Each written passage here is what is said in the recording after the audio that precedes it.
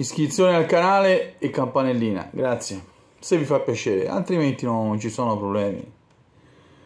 Ora, mercato è chiuso, come ho detto stamattina, è finito. Ora però i tifosi dell'Inter, secondo me, i tifosi dell'Inter oppure tutte le persone riescono a collegare il primo neurone con il secondo alla società, all'Inter, presidente, bisogna fargli delle domande. La prima domanda, bisogna fargli solamente una domanda.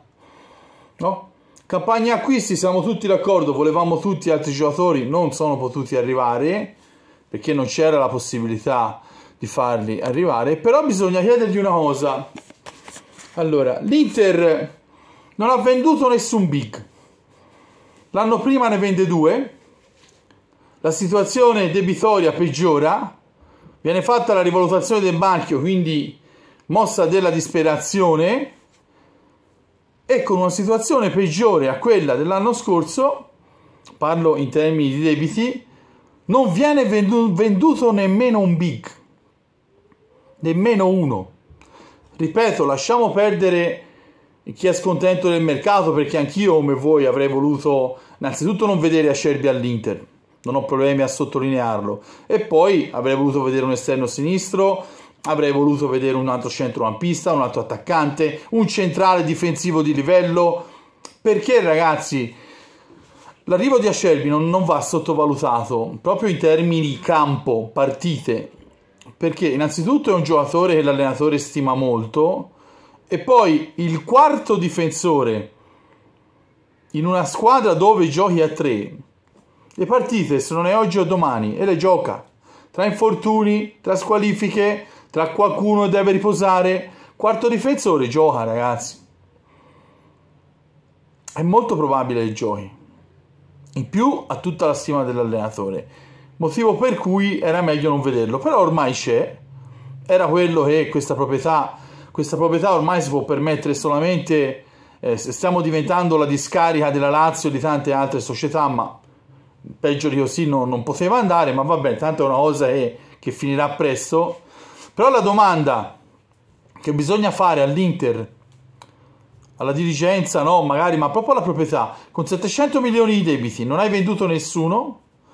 Questa è, è, è comunque una, una, proprietà che perde dai circa 18 milioni al mese ed ha quindi delle perdite stimate in 200 milioni all'anno. E mi volete far credere che voi in questa situazione economica, non, che gli amministratori non fanno nulla stanno fermi, non fanno un piano di rientro, non mettono un tetto ai salari, dai ragazzi. Dite, dite la verità ai tifosi dell'Inter. Ditegli la verità ai tifosi dell'Inter. Dite cosa sta succedendo, ditegli la verità. Che senso ha? La gente se le fa queste domande. Come fai a non aver venduto nessuno? Come fai ad andare avanti? Non c'è un piano di rientro. Un amministratore di un'azienda normale cioè andrebbe incontro a dei guai gestendo un'azienda in questa maniera. Perché non viene fatto nulla all'Inter? Perché stanno tutti zitti? Questo bisognerebbe chiedere, compreso Giappon- al giapponese. Questo bisogna chiedersi. Perché? Perché eventualmente dietro c'è già qualcuno che è pronto a rilevare tutto. Perché se Zang avesse avuto in mente di raddoppiare, triplicare o quadruplicare, avrebbe fatto fare un piano di rientro, avrebbe messo un tetto ai salari. Tetto ai salari, tra l'altro, è stato fatto. Eh, è stato fatto un articolo no, stamattina della riduzione degli ingaggi, non c'è nessuna riduzione degli ingaggi, che ci sono le buone uscite, a Lautaro gli hai messo 4 milioni, ne prende 6 e a Scerbi prende 2 milioni ma non uno, quindi non è stato ridotto nemmeno il monte ingaggi non è stato messo nessun tetto, anzi hai il centravanti che è il più pagato della Serie A.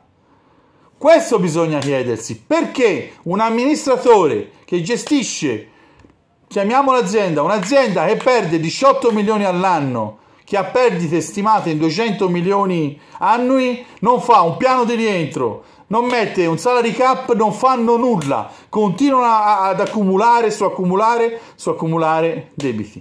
Dite la verità ai tifosi dell'Inter, perché prima o poi ci arriveranno tutti. Ciao Inter.